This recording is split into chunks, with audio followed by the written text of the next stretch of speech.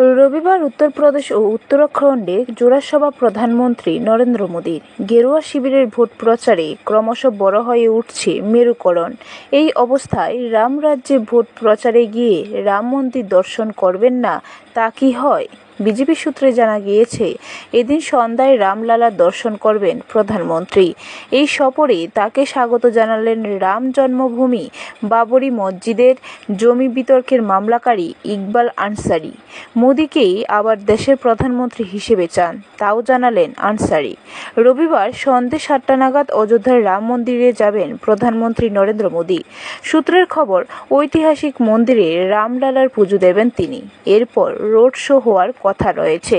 মোদীর এই অযোধ্যা সফরকে স্বাগত জানালেন রাম জন্মভূমি বাবরি মসজিদের জমি বিতর্কের মামলাকারী ইকবাল। তিনি বলেন, প্রধানমন্ত্রী মোদী ভাগ্যবান যে রামের শহর থেকে নির্বাচন শুরু হচ্ছে। তিনি আরও দাবি করেন, মোদীর শাসনে বিগত দশ বছর ভালো কেটেছে। তার কথায় প্রধানমন্ত্রীর সফর নিয়ে আমরা খুব খুশি। আমরা চাই উনি আবারও প্রধানমন্ত্রী হিসাবে নির্বাচিত হন। এক ভিডিও বার্তায় কথা জানিয়েছেন ইকবাল। ব্যুরো রিপোর্ট খবর ত্রিপুরা।